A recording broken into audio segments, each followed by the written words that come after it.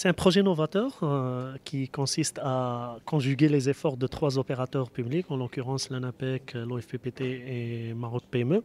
Et je pense que c'est un projet qui vient répondre à un besoin, un besoin d'un ensemble d'entreprises qui ont participé à ce plan d'accélération industrielle.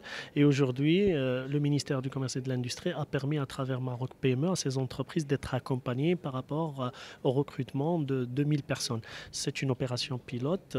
Et puis nous, on a mis ensemble un, un, dispositif assez innovant avec une task force au niveau de l'ANAPEC, au-delà de notre rôle en tant qu'intermédiaire actif, mais on a mis euh, une organisation spéciale pour répondre à ces besoins, qui commence d'abord par une opération de euh, collecte des, besoins, et c'est l'opération la, plus cruciale dans le, dans, le projet, puisque euh, toute l'ingéniosité, c'est dans la définition du besoin, et qui passe par une opération de sourcing à travers tous les canaux cross-canal de l'ANAPEC, notre base de données, les, les, les, canaux digitaux dont nous disposons, et puis une phase de testing pour pouvoir évaluer et positionner les jeunes. Donc nous aurons forcément deux, deux types de, jeunes, des jeunes qui répondent tout de suite aux besoins des entreprises et qui, ont, qui sont très autonomes, et là c'est une mise en relation directe avec ces entreprises, et puis autre, une autre catégorie de jeunes qui ont besoin, je pense, d'un complément de formation.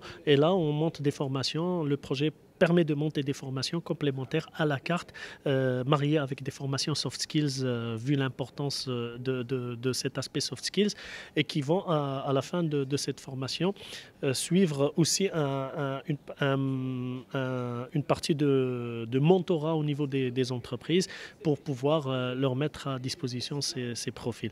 Ces formations vont être délivrées soit à l'OFUPT, soit avec des opérateurs privés.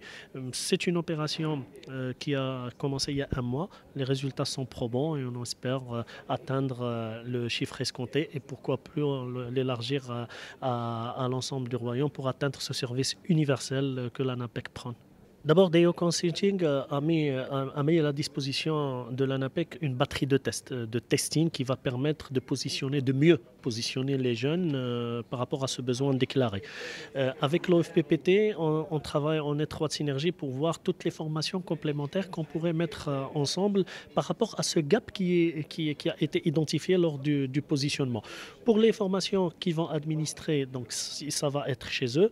Sinon, ça va être d'autres opérateurs. Avec euh, aussi le, euh, euh, avec ce DO qui, assure la coordination de, ce projet, on est sur tout le processus qui, commence de la définition du besoin. Donc on est ensemble chez les entreprises pour aussi les aider à, identifier le besoin, sur la déclaration de besoin.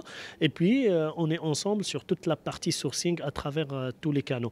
Donc et, et Maroc PME, c'est le, le maître d'œuvre de cette, de opération. Donc je pense qu'on est sur une conjugaison des euh, euh, de, des trois acteurs pour pouvoir réussir cette, cette opération.